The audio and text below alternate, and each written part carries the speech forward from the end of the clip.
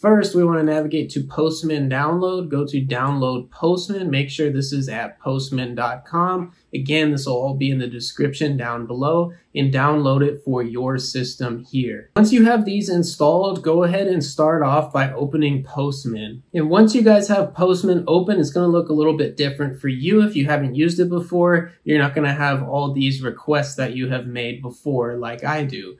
But what you want to do is create a new request here. And over here on the left, it'll let you choose what request you want to use. And in our case here, we want to test our get. So what we want to do is type in localhost 4000 and we already have our server running. Make sure that you have your server running or this will not work. And what we want to do is send a GET request to our server. And what you're going to notice is it returns our app is running on port 4000, which is the code that we included in our index.js file right here. So now we can see that our requests are successfully submitting to the server. Tap here to see what happens next.